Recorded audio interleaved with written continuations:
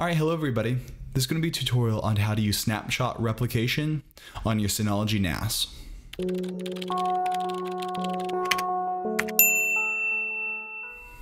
Alright, so snapshot replication is a service that's only on BTRFS shares. That is Synology's proprietary file system. And it allows for files to be stored with basically deltas in between them. So say I take a snapshot of a file and then I update that file. Basically what the file system does is it says, here's the file. Then here's the update to that file. Meaning that every single time you take a snapshot, you're not increasing the size of your file system unless you delete files because then the old snapshots still have to store that data somewhere. So snapshots allow you to go back to the way any file was on your system anytime you took a snapshot. And they've got a great utility for it. Basically, you can schedule how many snapshots you would like to take and how many you, you would like to keep. So for example, you could take a snapshot every hour, then keep three snapshots from that day, three from that week, four from the month, and five in that year. This basically ensures that you do not fill up your NAS with a ton of uh, snapshots, but you always have whatever you need. It's similar to the way that Time Machine works on a Mac. Alright, so to actually set up snapshot replication, first you're going to have to have a BTRFS share. Otherwise, it's simply not going to work. So if you have a BTRFS share, we're going to go into Package Center and then we're going to search for snapshot and just go ahead and install snapshot replication service. All right, so now that it has installed, we're gonna go ahead and open it. So the first time you open it, if you've got default settings, it's gonna give you this warning that record file access time is enabled on your system. Basically, if you're using BTRFS and you really don't need last access times on your files, Snapshot would like you to disable it, or at least make it happen less often. The reason for this is if it records every single time you access a file, that actually just adds more and more overhead to that snapshot because you're changing small things about the file every single time instead of never changing a file just because you open it. So that's just one thing you're going to want to do. Another thing to note about snapshots is that during file system defragmentation, they can get kind of broken. So if you've got a lot of snapshots and you defragment your file system, you're going to have an issue where all of a sudden, instead of taking up next to no data, your snapshots are going to be taking up significantly more data. I'm not talking like the whole size, but it could be 10% of that snapshot. So you might want to disable file system defragmentation or do it less often. All right, so within snapshot replication, you can see we've got these options. We've got overview. It basically says how much of your stuff has a snapshot, has a scheduled snapshot, or has no snapshot. And it really helps you see what percentage of your data is safe. We're on my video tutorial server, so I've only got 16 megs of data.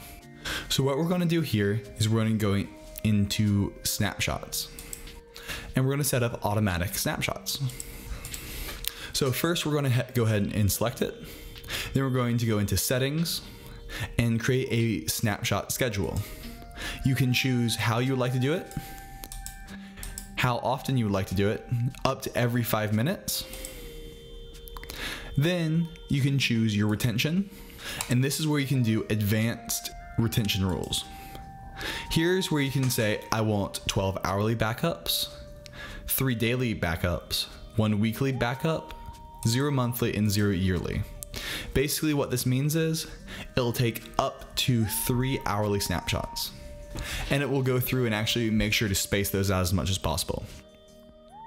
Then it'll take three daily snapshots, basically a snapshot from the past three days.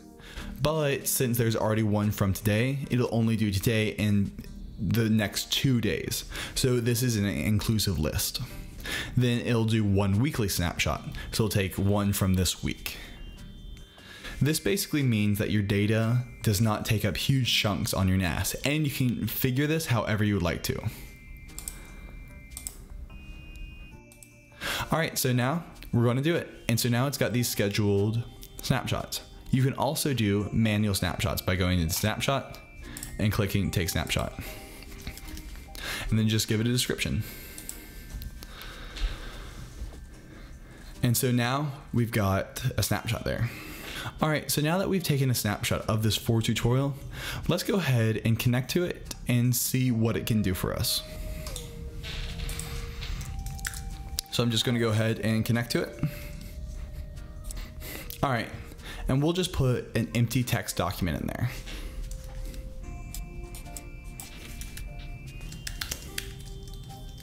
All right, I'll just add some random text in here so we can see what it does.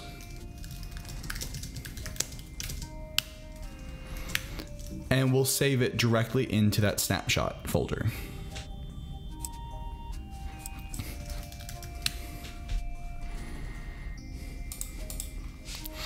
All right, so now we want to make sure we've always got a copy of that data. So let's go back into our Finder and just do a manual snapshot real quick.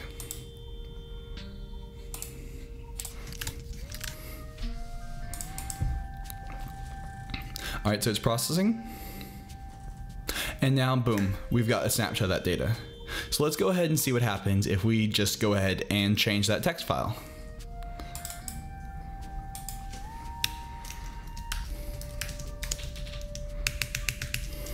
Just anything to show it. All right, and so now you can see, boom, uh, we've changed the document. But let's go back and say, oh shoot, I did not actually want to change that. So we're just gonna go ahead and go into snapshots again. And now we're gonna look at our list. And so this is the one we want, it's after text. So let's go ahead and just browse it.